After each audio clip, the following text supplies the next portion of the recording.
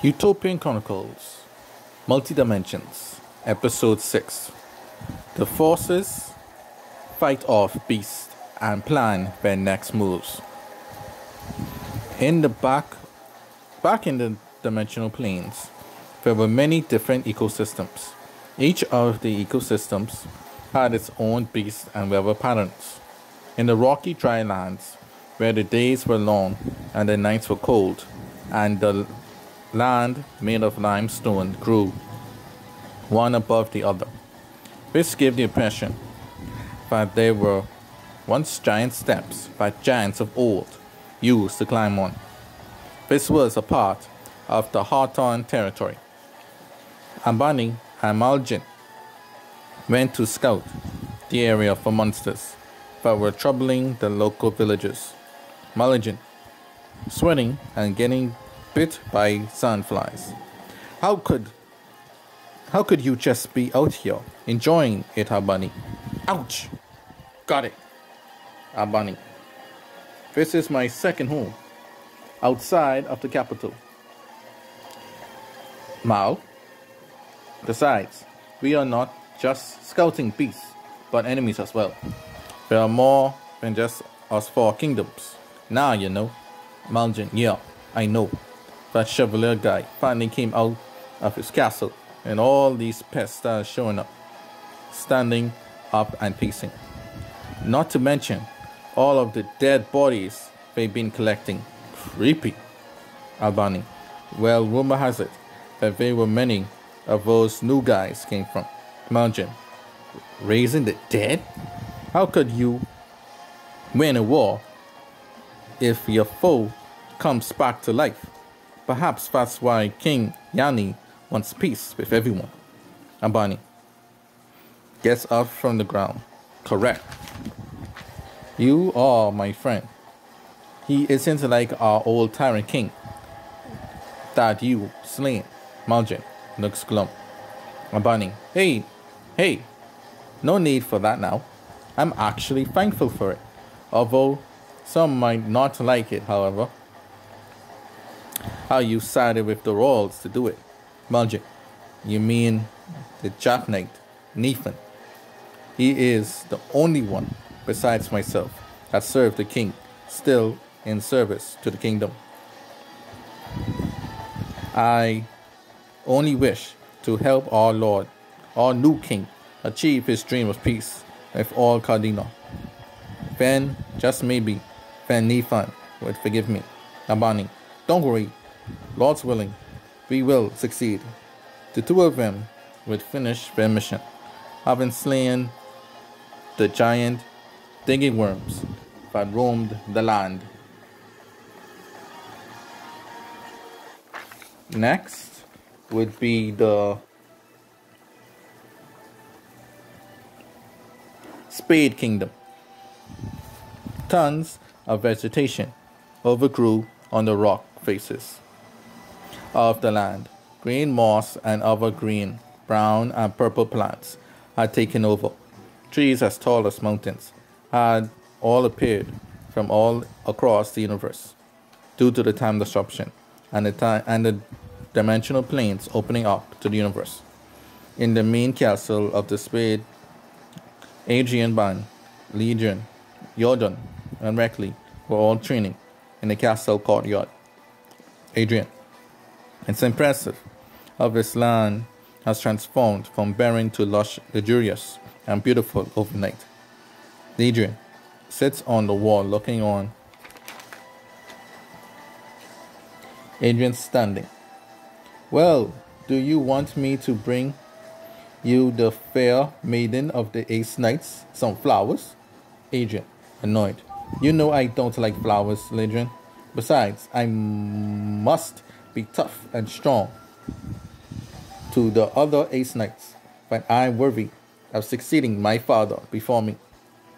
Yoga, walking towards him. Yes, your father was the pride of our kingdom. I pray you have his strength. No, even more than his strength, if he want to be the top guardian state. Not to mention, Father LaFleurs might return soon. Legion jumping off the wall angrily. Damn them, the floors. Adrian, clutching her sword tightly. It was him who killed my father on that planet, Utopia, in his treachery. See Lost Stories, Utopia. I vow that his blood shall stain this blade. Cliffs lifts her sword and closes, and lifts her sword close to her face. Reckley overhears their conversation and walks by. Well, none of you would get to your dream goals by talking alone. Picks up his spear. Come, let's train. The top officers of Spade began to train with much velocity as their cool and calm prince, Jason, looked on from the castle balcony. Next, near Lake Tan, was the JS. Enjoyed the peaceful scenery as they set up camp and gathered and trained troops. JS John. Father, it would seem that the meta would not be coming to join us. JSJ the third. Unfortunate, my son gets up of his head tent to greet his son. It seems our scouts have discovered that this place where we are is called the New Dimensional Planes. I never heard of such a thing on a planet Utopia. See Lost Stories, True Utopian Story, True Utopian Chronicles. Cheers, John. Perhaps this what they call the dimensions. It is said that if one conquers it, then the universe will be theirs. J.S.J. Third, excited. Yes, this what this was what I wanted to hear. It seems that those the floors are not here. This land will be mine soon. J.S. John, yes, father.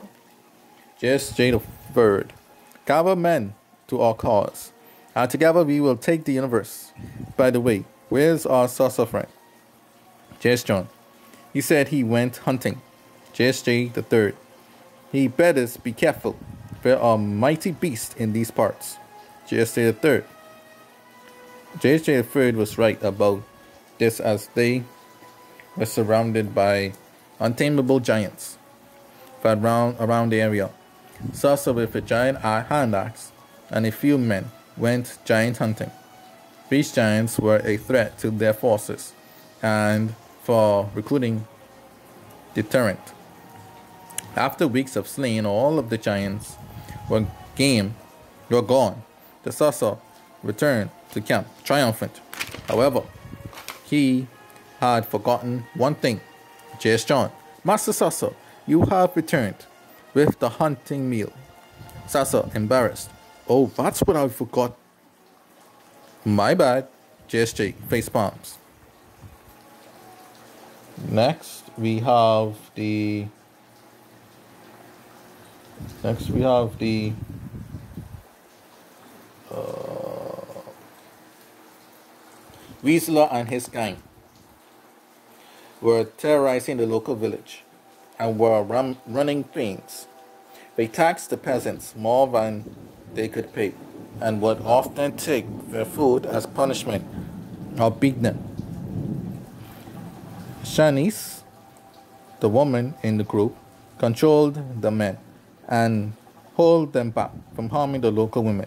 Still, the women of the village were forced to cook and clean for Weasler, for Weasler's gangs and thugs against their will. Unknown to them, this village was in the Caribs territory. King Ace Knight, Corolus himself, and Langulus got the royal decree from King Leclerc to chase away or slay the gangsters. Langulus was pleased just to do his duty as a knight. However, Corolus wanted to use this as an opportunity to boost his swordsmanship and to be praised by the common folk. Back at the village, Weasel was still pissed at Navi for jacking up their scan. Weasel, You, I'll give you one more shot to make it up to me, Navi. One more hiccup, and you will no longer be my right hand man. Navi, bowing his face repeatedly. Yes, sir. Yes, sir. Yes, my lord. Yes, sir. Yes, sir. Yes, sir. You count on me. Shanice frantically runs into the room. Weasler, we got a problem. Weasler, Shanice, baby, what's the matter? Stands up concerned. Shanice, it's it's those Carib guys. They they they heard that we were we were here that we heard about. They they, they come here and a large army. The local slave people rejoiced in front of their captors as Weasler froze in place. Navi gets up. Boss, Shab, Shanice, should I order the men to fight or prepare to retreat? And suddenly, as Weasler heard the word retreat, he took off like Usain Bolt and skipped town.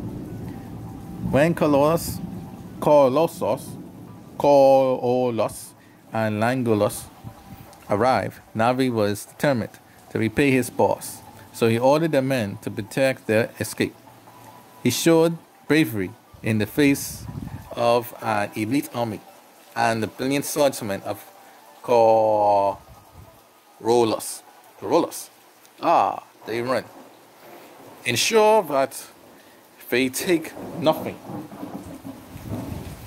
that belongs to the people with them. Languas, yes sir. Shanice, running. Drop the gold and run. Your lives are worth more than these riches. With this, the gang was expelled from the countryside, and both Colossus and Languas were praised for their bravery and heroism. Navi and Shanice caught up with their boss, who ran a mile straight without stopping. He was laid out flat in the back on his back. Weasel deep breathing. Thank you, Navi. You too, Shanice. Let us never invade town again without allies and our own, okay? Shanice, fine. Thanks for the good leadership, boss. Rosa eyes. Navi, I hope you're okay. Weasel gets up to thank Navi. About before, what I did, what you did for me today was perfect. You are forgiven, my friend. Hugs him. Navi. A tear of joy dropped down from his face. And lastly, we have